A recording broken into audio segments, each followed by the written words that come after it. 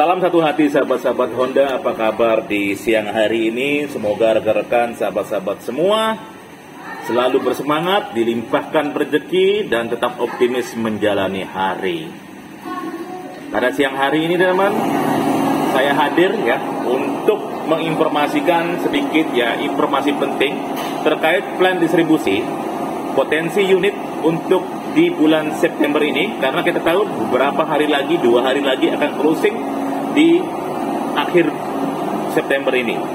Jadi sebelumnya teman saya minta maaf ya atas jarang muncul ya terkait menginformasikan plan distribusi. Dikarenakan sedikit kesibukan teman yang sangat tidak bisa diundur ya. Jadi uh, melayani customer seperti itu. Dan hari ini saya sudah bisa uh, free teman ya untuk bisa menginformasikan informasi-informasi Honda terupdate ya setiap hari. Nah, hari ini sekitar jam 12 ya, saya menginformasikan ini terkait distribusi unit ya di tanggal 28 September. Ya, kita tahu teman, kemarin di tanggal 26 September ya, Honda ya sudah meluncing new produk terbaru Vario 125. Sebentar lagi kita akan review termasuk di CBR 250 teman. Kita akan review, akan saya review spesial untuk unitnya. Jadi bertahap mungkin besok akan saya publikasikan untuk review unit CBR 250 RR dan di Vario 125 yang terbaru. Bagaimana kelebihan-kelebihannya, apa perbedaan-perbedaan dari unit-unit sebelumnya. Dan hari ini teman-teman saya akan membahas ya terkait distribusi unit di tanggal 28 September 2022. Mungkin rekan-rekan, sahabat-sahabat semua sudah menantikan ya unit-unit apa saja yang datang hari ini. Yang saya ceritakan di sini adalah pot, uh, distribusi unit ya untuk di area NTB, Mataram, Nusa Tenggara Barat, teman-teman ya. Jadi hari ini kita mendapatkan kebagian unit ya, lumayan banyak, sekitar 20 unit teman-teman. Itu ada di PCX, ada di Beat Street, ada di Scoopy teman-teman, ada di Beat Deluxe ya. Yang Beat Series yang paling banyak teman-teman, termasuk di PCX sudah mulai banyak, baik itu tipe GBS maupun ABS. Yang ABS itu muncul di warna hitam. Yang ini menjadi per, per perpaduan ya, perpaduan maksudnya. Artinya teman-teman bisa ngecek ya uh, distribusi unit di dealer tempat-tempat teman-teman pesan motor dan tentunya hari ini kita akan mengupdate ya. Kemarin juga hari ini juga kita turun untuk JRF 150 teman. Seperti itu berwarna hitam putih kita siapkan untuk pengiriman hari ini. Kebetulan kita dapat teman hari ini. Nah ini berkas-berkas yang akan kita urus ya.